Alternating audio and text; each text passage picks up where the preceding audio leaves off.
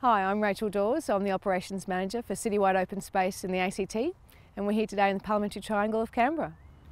Citywide was successful in gaining the national land contract for land, uh, open space maintenance in the ACT in 2010. We've just completed our first three-year period and have been successful in gaining another three-year extension on that contract. The national land managed by Citywide in the ACT are all those Commonwealth areas of land that were retained after the instigation of ACT government in 1989. Some of the activities undertaken here in Canberra are turf management of irrigated and dryland grasses, garden bed maintenance, there's tree maintenance and also some seasonal activities such as leaf collection, which is a major undertaking in autumn here in Canberra.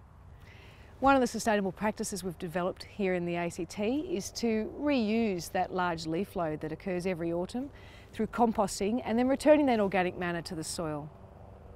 The volunteers that help in the rose gardens at Old Parliament House are a fantastic resource for Citywide.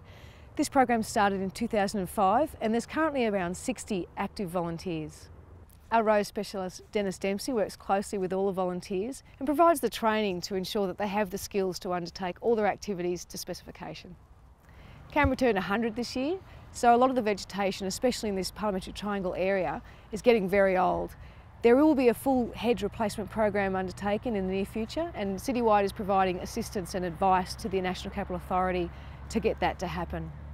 This is the start of a new three-year term here for us and we're really excited about the challenges that are upcoming in the next three years. We're also really proud to be working on such an iconic site.